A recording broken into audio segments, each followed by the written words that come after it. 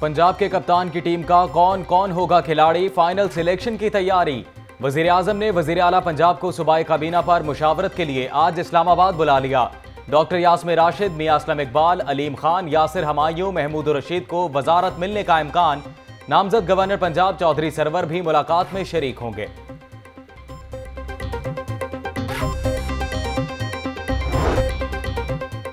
پنجاب کے گورنر چودھری سرور اٹھائیس اگست، منگل کو حلف اٹھائیں گے۔ اپنے کپتان کی طرح چودھری سرور کا بھی بڑا فیصلہ۔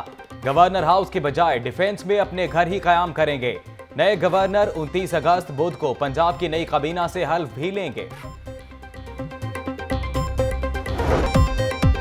اور برقی زینے لگیں گے۔ مسافروں کو بہترین سہولتیں ملیں گی۔ وزیر ریلوے شیخ رشید نے لاہور ریلوے اسٹیشن کی تعزین و آرائش کا اعلان کر دیا۔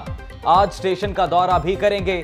ریلوے کا خسارہ ایک سال میں ہی ختم کر دیں گے۔ محکمے کی چار ہزار ایکڑ زمین واگزار کروانی ہے، وفاقی وزیر شیخ رشید کی ریلوے ہیڈ کوارٹر میں اجلاس کی صدارت کے بعد پریس کانفرنس۔